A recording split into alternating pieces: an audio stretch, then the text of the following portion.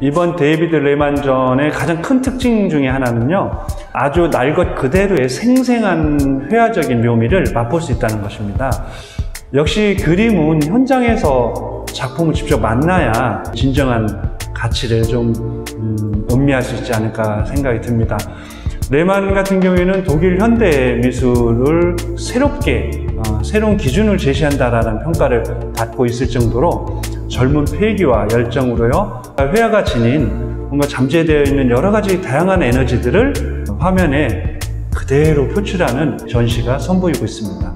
이번 작품 같은 경우에는 주로 개인의 경험도 있지만 인간이 갖는 가장 기본적인 욕망, 욕구, 그리고 사회적인 환경, 정치적인 이념, 종교, 이런 다양한 주변 환경들에 대한 요소들을 화면 속에 담아내고 있습니다.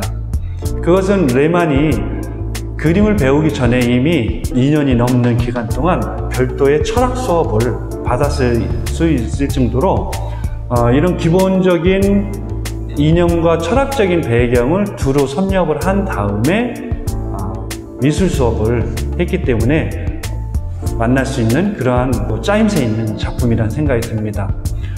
이번 같은 경우에 보통은 소품들이 많이 있는 기존의 전시와 달리 100호 이상, 다시 얘기하면 2, 3m 이상짜리의 작품도 있고요. 수채화부터 이런 드로잉, 그 회화 작품을 한 자리에서 만나볼 수 있는 아, 그런 흥미로운 전시라 생각이 됩니다.